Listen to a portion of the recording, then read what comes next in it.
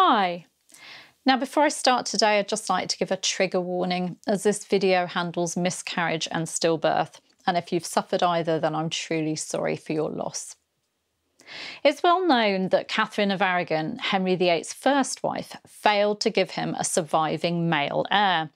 It's what led to Henry VIII wanting to set her aside and to replace her with Anne Boleyn. It had a major impact. The Great Matter, the break with Rome, the English Reformation, lots of executions, the dissolution of the monasteries, and so on. But it's not for lack of trying, is it? Between 1509 and 1518, Catherine was pregnant at least six times. Six pregnancies in 10 years. Wow. Sadly, as we know, only one baby survived infancy, a little girl who'd become Queen Mary I.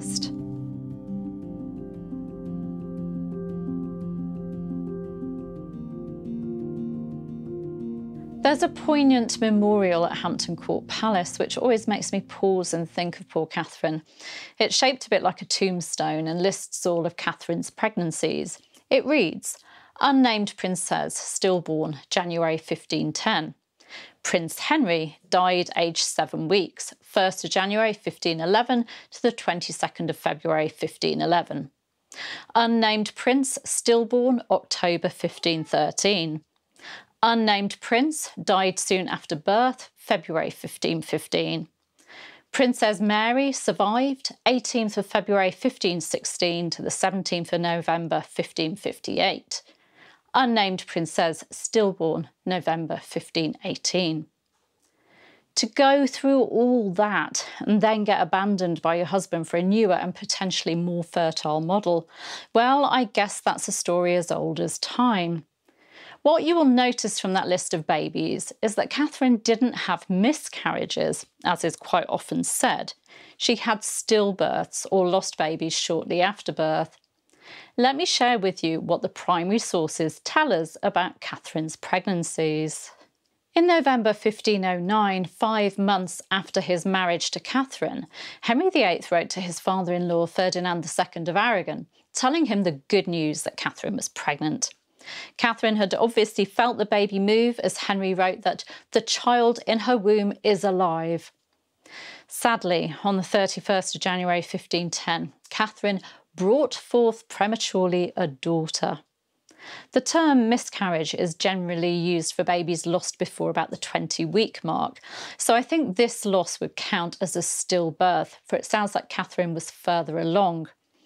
Catherine had lost her baby, but she was given a ray of hope by her physician. When her abdomen stayed rounded and in fact continued to grow, he concluded that she was still pregnant that she'd been pregnant with twins. Even when her periods came back, she clung to the hope and even took to her chambers in March 1510 to prepare for the birth. Eventually, her abdomen decreased in size and it became clear that she hadn't been pregnant. I can't quite imagine how Catherine felt, going from loss to hope and back to loss. And then, suddenly, she was pregnant again. This time she carried the baby to term, taking to her chamber just before Christmas 1510 and giving birth to a healthy baby boy in the early hours of New Year's Day 1511. Four days later, Catherine and Henry's son was baptised Henry after his father and grandfather. The birth of this prince, who was also Duke of Cornwall, was celebrated with a lavish tournament at Westminster held in Catherine of Aragon's honour. Catherine's biographer Giles Tremlett writes that this tournament was the third most expensive spectacle of Henry's long reign after his father's funeral and the deluge of ostentation that would later be known as the Field of Cloth of Gold. Unfortunately, Catherine and Henry's joy was short-lived. Henry Duke of Cornwall died at Richmond on the 22nd of February 1511 when he was just 52 days old. He was buried at Westminster Abbey.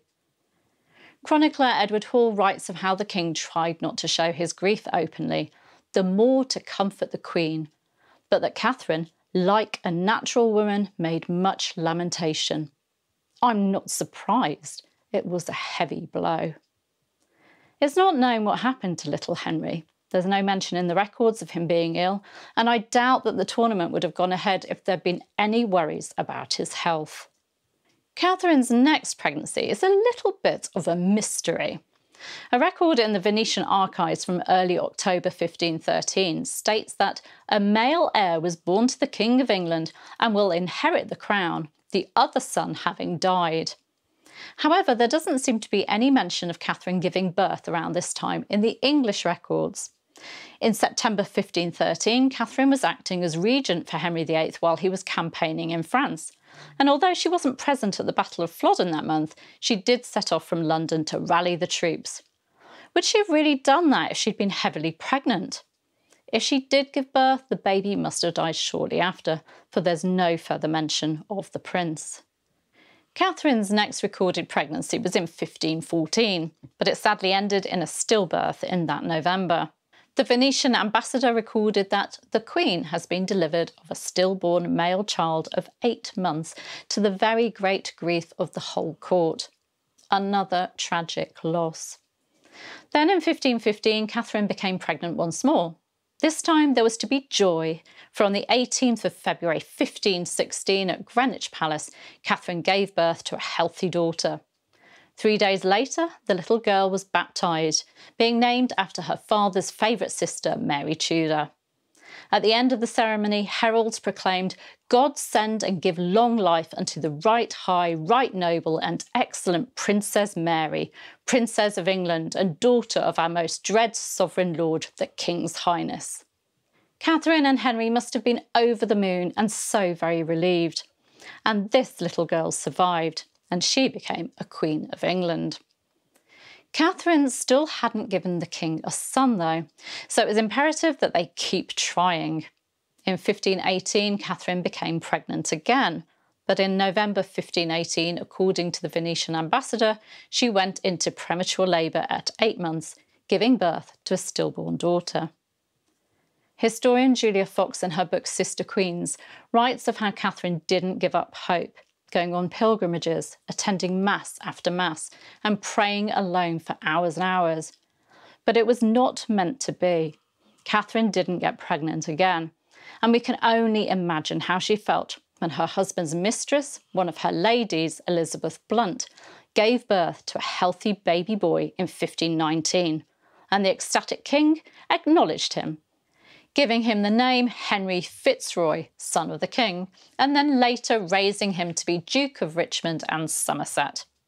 And then, a few years later, she had to cope with her husband arguing that their marriage had never been valid because she was his brother's widow.